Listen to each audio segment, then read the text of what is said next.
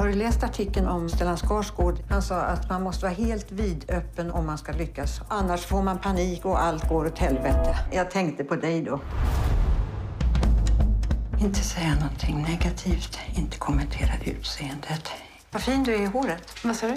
Hej, Alex. hur mår du? Bra. Ser du? Inte fråga om hon har träffat någon. Har du träffat någon? Men vi är inte tillsammans. Vad heter han?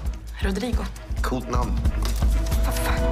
Vi har ju en ganska speciell relation. Jag har varit hans älskarinna i två år. Jag tror att du har träffat någon annan. Vänta, vänta. Du har träffat en annan? Samtidigt som mig? Jag blir bara så jävla ledsen. Trygg, stabil kille som ändå inte backar på ett äventyr. På Tinder. Pappa, har du berättat för alla utom mig? Nu överreagerar jag. Säg hur jag ska reagera.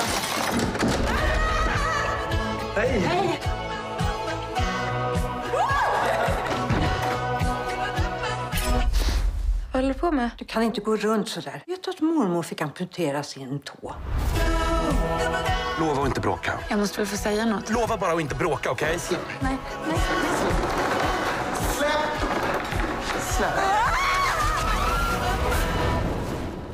Jag och min mamma, vi är ju som bästa vänner. Alltså jag skulle vilja flytta in i min mamma igen. I livmodern och bara ligga där. Mysa.